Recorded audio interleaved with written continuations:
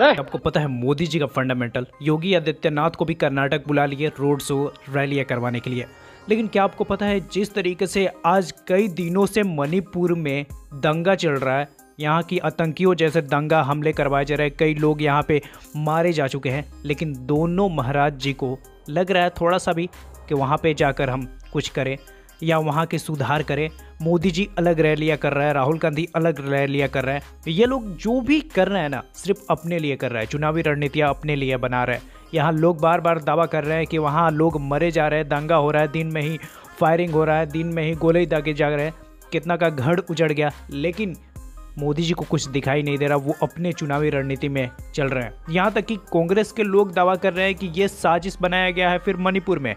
कि ऐसा करेंगे और बाद में फिर कोई रणनीति मोदी जी रचेंगे ताकि सब लोग उनको सपोर्ट करेगा। बार बार ऐसे ही रणनीति रचते हैं, ऐसे ही साजिश रचते हैं। ताकि लोग उनको जान सके ऐसा लोग कह रहे हैं। लेकिन जिस तरीके से देखा जा रहा है तो कर्नाटक में अखिलेश यादव भी सपा के जो नेता है वो भी कांग्रेस के सपोर्ट में चले गए। वहाँ पर भी कर्नाटक के अंदर उन्होंने भी रैलियाँ करी और जिस तरीके से यूपी से योगी आदित्यनाथ भी गए वो भी रोड शो करे। दोनों बहुत ज़्यादा यहाँ पर रोड शो करे और उनको सपोर्ट भी किया जा रहा था। देखा जा रहा है तो मणिपुर की जिस तरीके से दे, देखी जा रही है वहाँ तबातोड़ दंगे फसाद गोलियाँ चल रहे हैं। उसको कई लोगों ने भी खारिज किया है मोदी के ऊपर कि मोदी जी को कुछ करना चाहिए। लेकिन मोदी जी साजिश करवा रहे हैं, शायद इसलिए वहाँ का कोई सवाल जवाब नहीं उठ रहा है। यहाँ तक तबातोड़ रैलियाँ चल रही है। तो कर्नाटक में 224 सीटें हैं और कभी कभी दावा किया जा रहा है बीजेपी की तरफ़ से कि सबसे ज़्यादा बीजेपी की सीटें आ रही है। और आज तो दावा अलग ही लोगों का किया जा रहा है। बताया जा रहा है कि 118 से 125 सीटें तक कांग्रेस की आ रही है। तो रोज़ रोज़ नए दावे किए जा रहे हैं रोज़ रोज़ नए चीज़ें बढ़ रही है और रोज़ सीटें बढ़ रही है, बीजेपी के भी बढ़ रही है और ख़त्म हो रही है। ऐसा यह लोगों का दावा चल रहा है। तो सबसे ज़्यादा चुनावी रणनीतियाँ देखा जा रहा है तो बीजेपी की तरफ़ से तैयार किया जा रहा है, मीटिंग चल रहा है, ताकि कैसे उस सीट को अपने तरफ़ किया जाए और सभी के जीता जाए। लेकिन मणिपुर में दंगा हो रहा है, वो किसी को नहीं दिख रहा।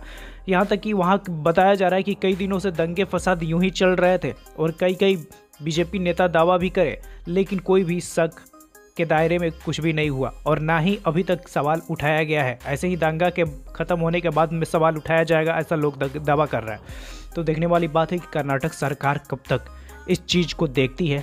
वहाँ के लोग मरे जा रहे हैं, लेकिन कोई भी पूछने वाला नहीं है, ऐसा लोगों का दावा है। तो जिस तरीके से रैलिया में घमासान तबाही बार बार नेता जा रहे हैं, वहाँ पर रोड शो कर रहे हैं, रैलियाँ कर रहे हैं, यहाँ तक कि सिंधे सरकार ने भी दावा किया था। तो देखा जा रहा है तो महाराष्ट्र सरकार में भी बहुत बड़ी ऐलान चल रही है इस चुनावी रणनीतियाँ को लेकर। और कर्नाटक में जिस तरीके से 10 मई को चुनाव होने वाला है, उसका अलग ही रणनीति तैयार किया जा रहा है। तो 224 सीटों पर ऐलान चल रहा है तो किसके हाथ में कितना सीटें आ रही है? ओपिनियन पोल में भी बता दिया गया 110 से 122 सीटें आ रही है कांग्रेस की, और चौहत्तर से पचासी सीटें तक आ रही है बीजेपी की। तो देखने वाली बात है कि इसमें से सच्चाई कितना है और कितने सीट पर मतदान होता है, कितने वोट आती है, वो तो 10 मई और 13 मई को ही पता चलेगा। तो आपको क्या लगता है मणिपुर के बारे में कैसे प्रधानमंत्री को समझना चाहिए और विचार करना चाहिए? नीचे कमेंट बॉक्स में हमें ज़रूर बताएँ और आपने अभी तक चैनल को सब्सक्राइब नहीं किया हुआ है तो कर सकते हैं।